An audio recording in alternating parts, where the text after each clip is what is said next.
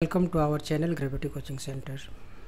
Quantitative aptitude chapter average question number 39 if 25a plus 25b equal to 115 so what is the average of a and b? So here given 25a plus 25b equal to 115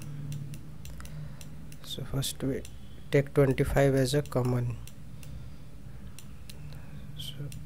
a plus b equal to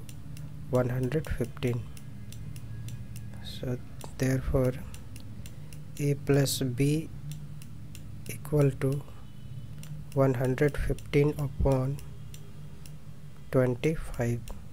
so first we cancel by table of 5 5 5 ja 25 and 23 5 ja 115 then 23 is divided by 5 so it is equal to 4.6 so therefore average of a and b of a and b equal to a plus b upon 2 and the value of a plus b is 4.6 6 upon 2 so it is cancelled by 2.3 so which is the required answer?